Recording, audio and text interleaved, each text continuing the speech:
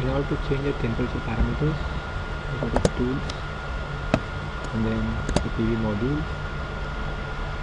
um, I just tested this method um, for a solar world 140 watt PV module.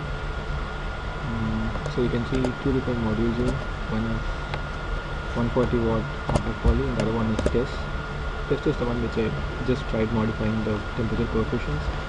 So go in and then you can see these values here. The temperature coefficient is actually 0.48 percentage per degree celsius but um, I just modified it to 0.75 percentage per degree celsius.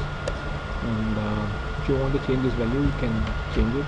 You go into the model parameters temperature coefficients and then you go here and see the value which you want to give and check the performance of the module. For example I will give uh, um, say 0.95 for example. And just do ok uh, before giving ok go here and change the PAN files name.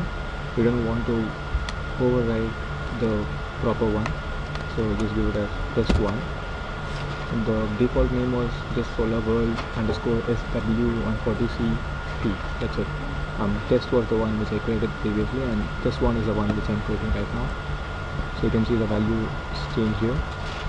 Just give ok and uh, just take the name here and then just give a save as save it so you can see difference you can see three different modules here. This is the uh, the default one which came with PVsyst so the actual temperature coefficient is 0.48 percentage per degree celsius. But uh, now we have modified it to 0.95 percentage per degree celsius so this is how you change it and then you can compare the performance for the same module under three different or like how many ever uh, temperature coefficients you want